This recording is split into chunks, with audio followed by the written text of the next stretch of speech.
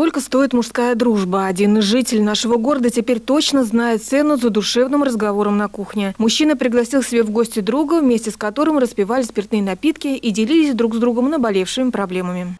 После его ухода обнаружил о том, что из шкафа пропали денежные средства в размере 70 тысяч рублей. Саровчанин тут же обратился в дежурную часть полиции с просьбой разыскать деньги за одно из закадычного друга, который теперь стал бывшим. В ходе оперативно-розыскных мероприятий данное лицо установлено.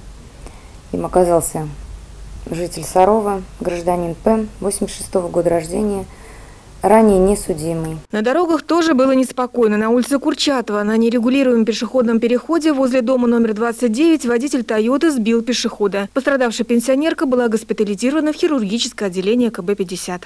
Телесное повреждение у нее в виде перелома наружного мыщелка и перелома левой большеберцовой кости. Этот пешеходный переход уже не в первый раз фигурирует в сводках госавтоинспекции. Прошлой осенью на этом же месте пострадал подросток. Сотрудники ГИБДД просят горожан быть внимательными и переходить дорогу, только убедившись, что автомобилисты вас увидели и сбавили скорость. Елена Грицкова, Артемий Глазков, Сергей Рябов, Служба новостей, Саров 24.